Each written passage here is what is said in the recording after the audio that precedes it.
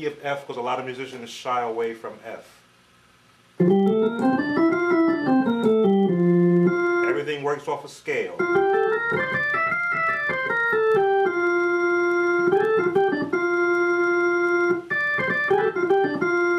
It's all within the scale.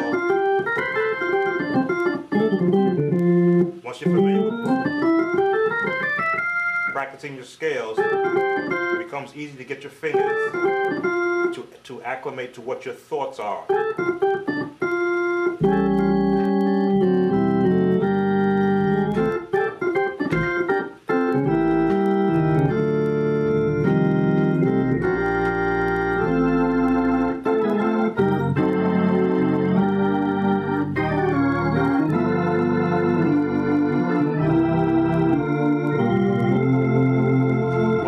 Take you through the entire song with all the changes in it, and this is for the advanced musicians. Here we go.